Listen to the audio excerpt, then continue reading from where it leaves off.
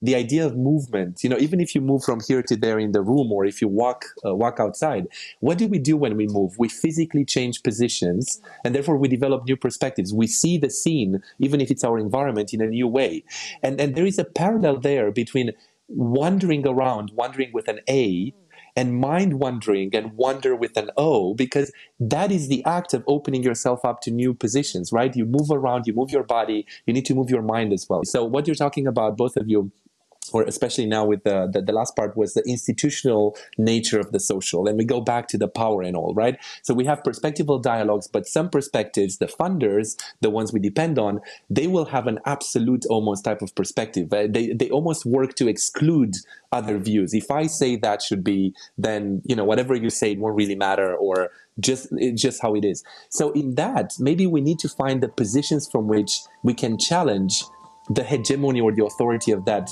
that that perspective.